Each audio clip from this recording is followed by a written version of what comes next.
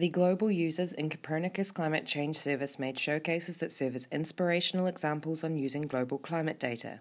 Here is water safety in the Greater Mekong region.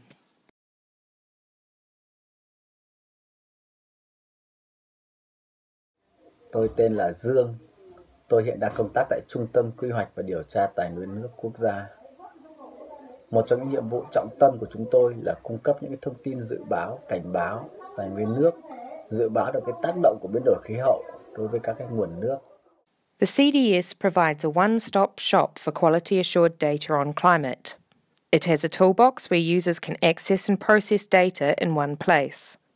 All CDS data and applications can be used by anyone for any purpose and can be reached from the C3S website climate.copernicus.eu. Đến từ khu vực Mekong, nơi có nhiều lưu vực liên vùng, liên quốc gia, trong khi số lượng các trạm quan trắc đo đạc còn hạn chế.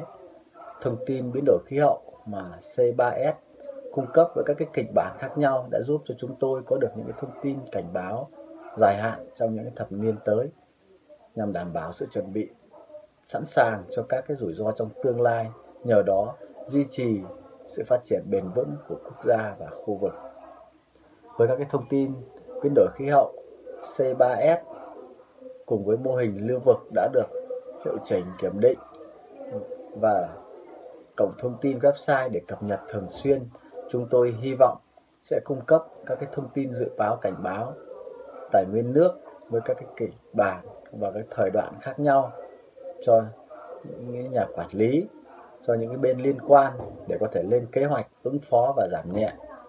Vì tác động của biến đổi khí hậu sẽ ngày càng phức tạp cái việc lên kế hoạch ứng phó với các rủi ro trong tương lai sẽ giúp cho nguồn nước được phân bổ một cách hài hòa hơn giữa các bên liên quan ngăn ngừa những cái mâu thuẫn tranh chấp có thể xảy ra đồng thời đảm bảo sự phát triển bền vững của lưu vực For more information, please visit the webpage where you can be inspired by other showcases, explore and download climate impact indicators and seasonal forecasts, and learn how to use and interpret the data. Thank you for watching.